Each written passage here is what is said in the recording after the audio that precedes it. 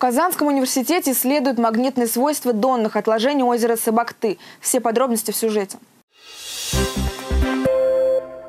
Озера – уникальные природные объекты. Они представляют большой интерес для научных исследований крупнейших вузов. Казанский университет не стал исключением. Одно из исследований было представлено аспирантом Института геологии и нефтегазовых технологий Казанского университета Анастасией Юсуповой на 28-й международной конференции студентов, аспирантов и молодых ученых-ломоносов. Юсупова назвала предварительные данные по магнитным свойствам донных отложений озера Сабакты в Башкортостане. Всего было изучено более 450 образцов, которые позволили провести поликлиматическую реконструкцию на территории Южного Урала. А полученные результаты позволяют провести периодизацию климатических изменений на Южном Урале за последние тысячелетия.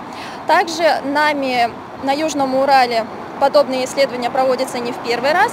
Подобные исследования на озере Сабакты были проведены впервые. Изучение магнитных свойств позволяет определить наличие магнитных минералов в осадках, которые могут рассказать нам о климате прошлого. Также в этом году планируется выезд в Республику Башкортостан на озеро Кандрыкуль. Елизавета Никитина, Фарид Захитаглы, Универньюз.